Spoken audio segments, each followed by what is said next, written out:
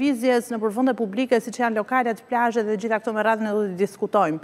Po teknikisht, pra në ekspert në në aspektin e sigurisë, a ka rrethana që mund të plagosen tre persona aksidentalisht? E para i bie tre shkrepje pra. Në qoftë se kemi tre shkrepje, si mund të jetë shkrepje e pavullnetshme?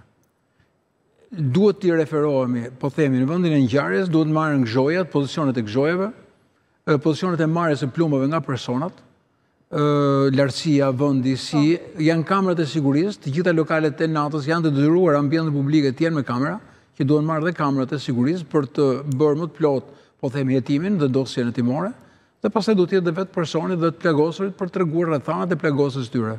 Dhe Shkrepje e pavullnetshme, të plagosësh tre persona, është për mua është e pamundur.